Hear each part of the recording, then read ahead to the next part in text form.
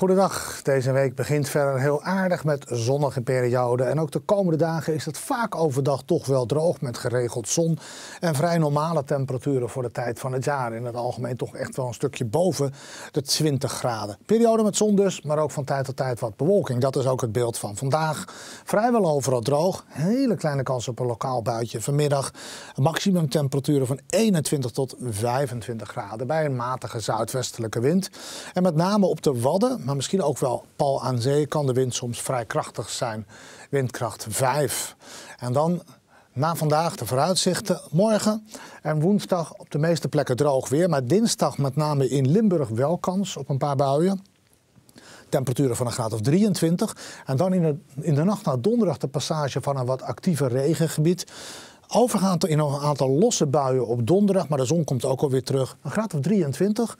De dagen daarna waarschijnlijk weer veelal droog. Iets lagere temperaturen, maar toch nog wel een graad of 21.